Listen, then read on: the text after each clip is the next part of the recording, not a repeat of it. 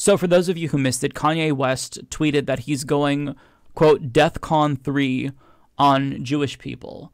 Um, and to follow up, we have an additional story that's even uh, even worse. So this is from Forbes. Kanye's troubles deepen. Ex TMZ staffer says star praised Hitler on podcast Kills interview.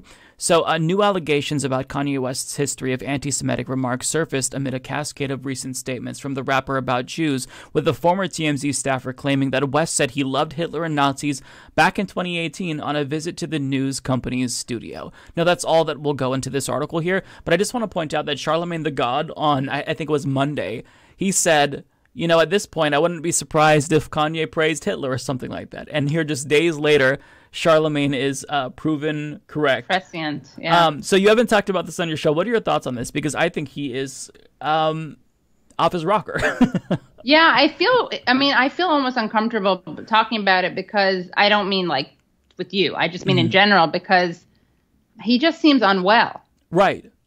So, you know, it's almost like the political analysis. I mean, what he's saying is obviously awful. Yeah. But the question is kind of like where um uh I, I don't know. It's a good question. Like how are we supposed to to respond to this stuff? And you know, there's where where does like mental health start and personal responsibility start or mm. politics start and the other things stop? it's like kind of uncomfortable. I'm not sure where where it is. I mean, I think we can definitely condemn the ideas and the thoughts mm-hmm. that are obviously anti-Semitic.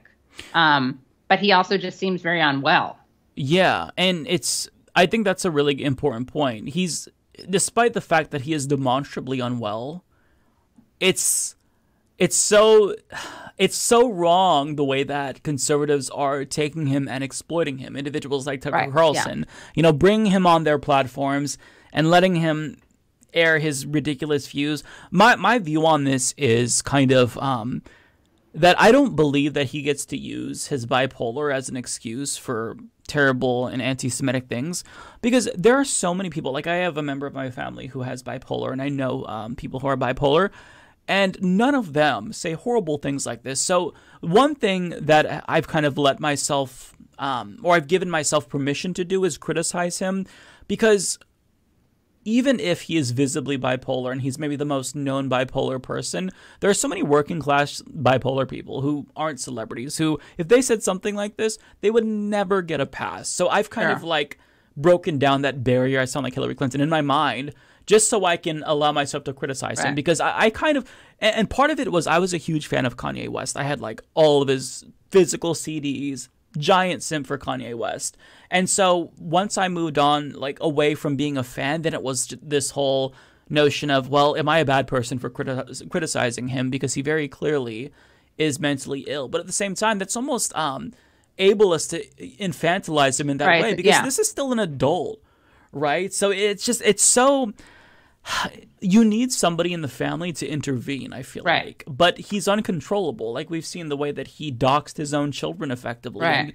Kim Kardashian had to get security at the school. And he did this because he presumably wanted his kids to go to Donda University or something. It's just so deranged. And and now the fact that he's saying right wing things, the right is using that as, hey, we yeah. have a culture, uh, you know, a cultural icon on our side. It's so gross. It's really gross. I mean, I think it's interesting what you said about how there are working class people who would be immediately canceled for this. But, you know, I feel like sometimes the left can be a little like race to the bottomism on this stuff. Mm. Like, for instance, so, like when a rich person gets off for a crime, like I don't really believe in in prison as a concept, and I certainly don't believe in it for like nonviolent crimes. Let's say, yeah. And when sometimes like rich people I understand the left will cheer and want a rich person to go to jail mm-hmm. over like drugs or something. And my thing is like we should be working to free the people in jail more than to put rich people in jail. So mm. I guess the parallel I'm saying there is like I also wish we had more. I think that when people are mentally ill and saying really problematic things, that I think we can condemn what they're saying but hopefully like i do think the goal should be helping the person i mean mm-hmm. not to the extent that you let them hurt other people obviously mm-hmm. there are lines there um yeah you know one thing that i've been wondering is like how do you rehabilitate someone like that because if this were just a family member, um, you know, we would all talk to that person and say, "What you're saying is terrible. What you're saying is hurtful. Here's why you're wrong." But with someone um, who is that powerful, um, Right. you know, he's he's not just wealthy, but he's kind of surrounded himself with yes men who puff up his ego and whatnot. So he's almost untouchable to where any thought that he has that he espouses is, immedi- is immediately validated. So the answer is like, how do you even get through to that person, assuming Right. there's somebody that wants to get through to them?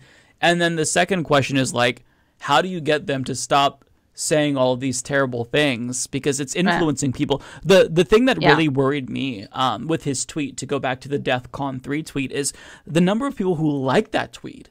You know, they just they agree with everything that he says. I think it was like thirty thousand. That's really scary. Yeah. Yeah, they just agree with what he says automatically, not necessarily taking into account, you know, uh, deep issues that he has and, and whatnot. And so that's what really worries me because, like, you have these people who are they're they're too far gone, but yet they still have so much influence, and I just don't know. And this is kind of an open question: like, how do we get through to those people, and more importantly, how do we get through the, to the people that take everything that those types say at their word? Because there's so Right. many. I mean, Trump supporters is the biggest Yeah. example, but for you know a non-political example like um, Kanye West, I, I just Right. I don't know what to do, and I wonder aloud sometimes. Yeah, no, I don't know what the answer is either. It's like, and then there are different issues. One is like, okay, how do you, like, do you take the person's microphone away? That's one issue. But then there's just the moral issue Mm-hmm. of like, do you, can you forgive? I, I feel like he seems so gone Yeah. that like I don't even like I I could imagine him getting on meds and doing therapy and being like I wasn't myself. Not as a PR move. I'm saying I could imagine that thing happening and then that's the question of like the culpability. How responsible is that person? hmm Um, but I do think it's different when you're totally in your right mind and not doing it. And then Yeah. there are people who would say like, well, you know, in vino veritas, right? Like, but this is different when you're, you know, in wine truth and like people when they're will say things when they're drunk and that's their like uninhibited self. That's different, I think, from Yeah. being like I think suffering from a, a what can be like a and I know lots of bipolar people, so I'm not like I'm not generalizing, but I know there's a spectrum, and it can be a very debilitating hmm illness.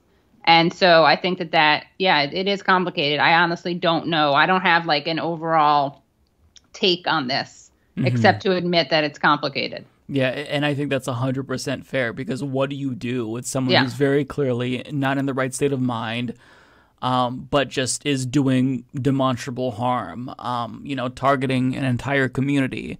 Right. And, you know, you think about how hate crimes and anti Semitism has increased over the years, and then he, with all this influence, makes this statement. And I think that the fact that, assuming he misspoke and said death con instead of DEFCON, made it like 10 times worse.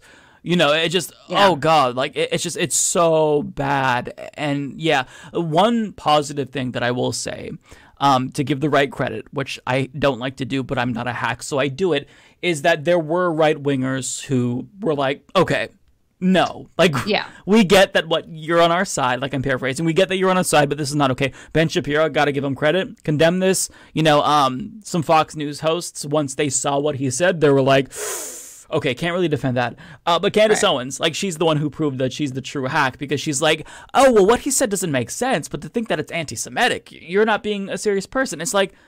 Oh, that's that's, how you know who the hacks are, right? Right. Because if I said something Wow, like when that, you're like you would out, condemn when, me. when like you make Ben Shapiro look like a remotely honest, smart person, that's Yeah. quite the feat, Candace Owens. Yeah. Yeah, and, and as much as the left like fights, I think that we're pretty honest to where if one of us fucked up that bad, we would just be like, okay, I support this person. Maybe their intentions are, are, are altruistic, but that was not a good take. I just feel like that's that's Right. such a level of partisan hackery that's almost um, it's it, it's so bad that I don't even know how to describe it. Like she Well, should never be be, taken seriously. to be again. fair to uh, Candace Owens, of course, she famously said that Hitler's only mistake was going global. Oh, when he kept it local, right? When That's it was farm to table Nazism, that was fine.